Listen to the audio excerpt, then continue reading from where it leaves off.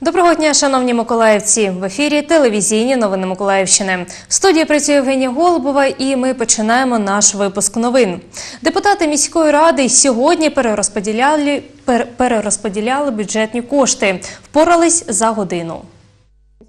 Кошти виділялись і перерозподіляли завдяки змінам до кількох цільових програм. Депутати проголосували за і підтримали правоохоронців, учасників антитерористичної операції, затвердили зміни до програми економічного і соціального розвитку Миколаєва на нинішній рік.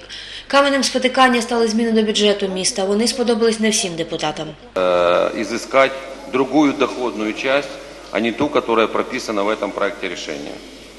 Э, Решение фракции, которое сегодня утром произошло, подтвердило те решения комиссий, которые были. Э, Мы предложили следующее. Мы готовы проголосовать за расходную часть бюджета.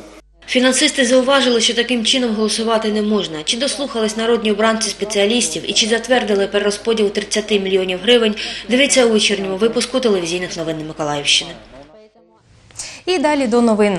Вести боротися, перемагати. Посібник під такою назвою презентували миколаївським морським піхотинцям.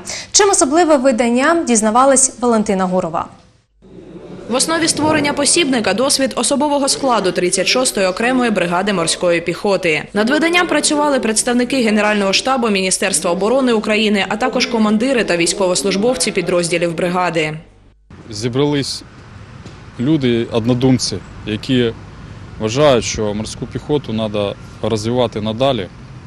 Це не, тільки еліта військово-морських сил, але е, ті люди, які мають свою філософію. Ця е, загальні теорії цієї філософії вони лягли в основу цього посібника. Книга стане настільною для тих воїнів, які вже пройшли випробування і отримали право носити чорний берет. До права носіння чорного берета допускаються далеко не всі військовослужбовці, тільки ті, які е, пройшли певне випробування, починає з, е, починає з е, участі в антитерористичній операції, ну і закінчує проходженням смуги перешкод. Капелан 36-ї окремої бригади морської піхоти Андрій Зелінський зазначає, посібник з військового лідерства для морпіхів вести, боротися, перемагати своєю появою створює прецедент у збройних силах України. культуру творять тексти. Е, І відповідно вперше у нас в руках текст, який не є перекладом з е, іноземної літератури у сфері військового лідерства, а власне є е, продуктом життя, життєдіяльності, боротьби наполегливої праці над собою е, морської піхоти України, е, усіх її е, членів воїнів-морпіхів. Текст посібника узагальнює та систематизує досвід бійців, загартованих в боях на сході України, досвід тих, які залишились вірними воїнів-морпіхів. Валентина Гурова, Андрій Заворотній, телевізійні новини Миколаївщини. І до події на сході України. Там обстановка залишається напруженою. Ворог і надалі провокує збройні сили України. Проте наші воїни не відкривають вогонь у відповідь. Про це повідомляє прес-центр штабу АТО. Ворог здійснив сім мінометних обстрілів по оборонних укріпленнях сил АТО та загалом випустив понад півсотні мін. На Луганському напрямку найгарячіше було на Світлодарській дузі. Тут противник неодноразово з невеликими перервами вів вогонь зі 120 та 82 мм мінометів, гранатометів, зенітних установок та озброєння БМП по захисниках Луганського, а зі стрілецької зброї поблизу Новолуганського. Декілька мін калібру 82 мм окупанти випустили поряд з Новотошківським. З гранатометів обстрілювали опорні пункти неподалік Троїцького і Новозванівки, а зі стрілецької зброї турбували оборонців станиці Луганської. Порушуючи режим тиші, ворог обстрілював позиції збройних сил України біля населених пунктів Оріхове і Золоте. Аби не піддавати небезпеці робітників електромереж, наші військовослужбовці вогонь у відповідь не відкривали. В 10 годин відбувся виход із Птура, там з Тірікона. Ми прибігли сюди, дивимося тут, ще шарик стоїть розбитий. Він їхав, туристи попали на ходу. І велися ремонтні роботи, електрики працювали. Ну, тобто вогонь не можна було відкривати. І нам, ні їм. Ну, вони не дотримувалися режиму тиші. Біля пісків на лінії зіткнення незаконні збройні формування все частіше застосовують тактику снайперських пар. Військовослужбовці зазначають, треба бути дуже обережними. Тут, коли була заварушка, тобі ж стріляли з пулемета. Прильот був ПР, ну, РПГшний прильот, посікло прицельну планку. Ну, пулемет спас, можна сказати, життя. Почали вони з БМП СПГ. Почався обстріл, тобто всі в, в, ружьо, всі прийшли на позиції, почались обстріли по цим позиціям, дали добро на відповідку, почали відповідати, викупили, що крупнокаліберний пулемет тут стоїть, соответственно, сразу приход. Куча землі в лицо. Ну, цілий, живий, неушкоджений. Загалом за минулу добу незаконні збройні формування 18 разів порушили перемир'я. Жоден український воїн не постраждав. Євгенія Голубова, телевізійні новини Миколаївщини.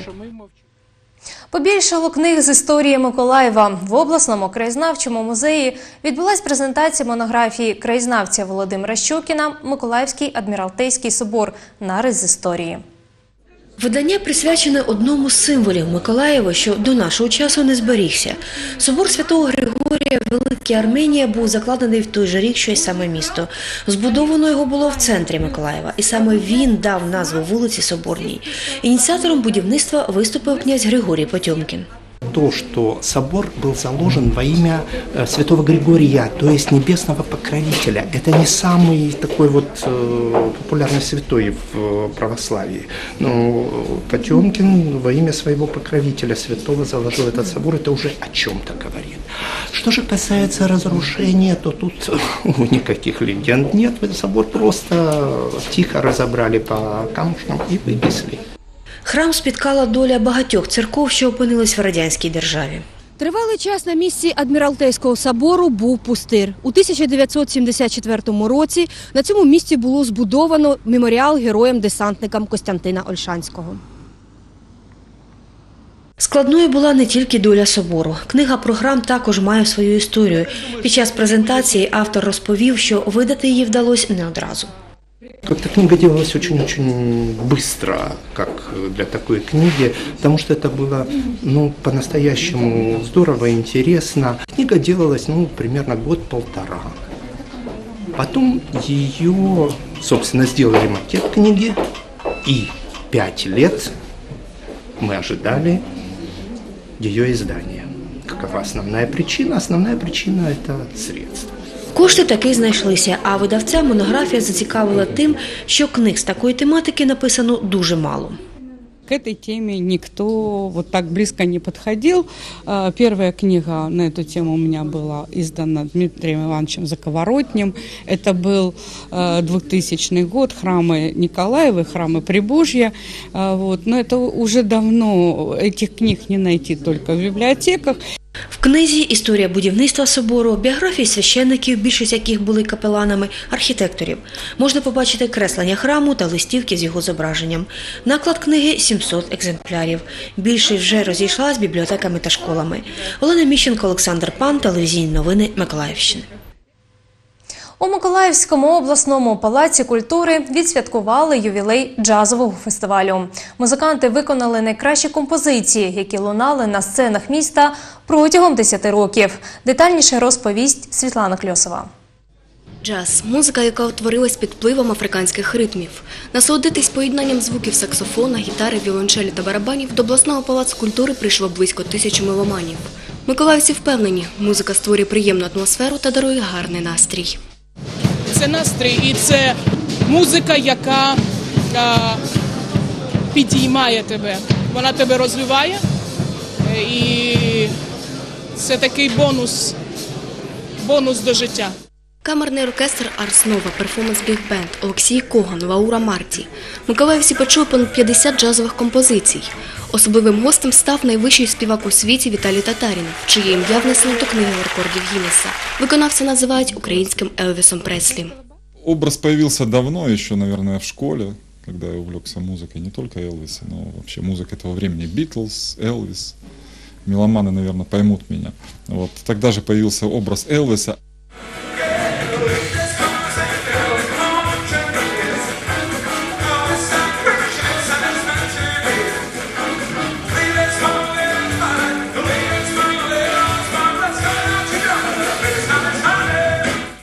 Зі сцени пролунали композиції Філа Машадо, Алана Харріса, Роя Асафа, Френка Сінатри. Організатори радіють, що так багато людей прийшли підтримати виконавців.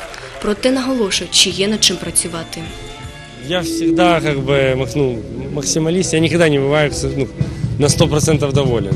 То есть э, что-то получилось очень хорошо, над чем-то еще стоит э, работать. Самой главной проблемой и сложностью, ну даже не проблемой, а сложностью, это когда фестиваль юбилейный, когда надо подвести итоги, а в то же время есть временные рамки. И вот то, я считаю, то, что, например, не очень получилось, это то, что чуть-чуть вот растянулось первое отделение.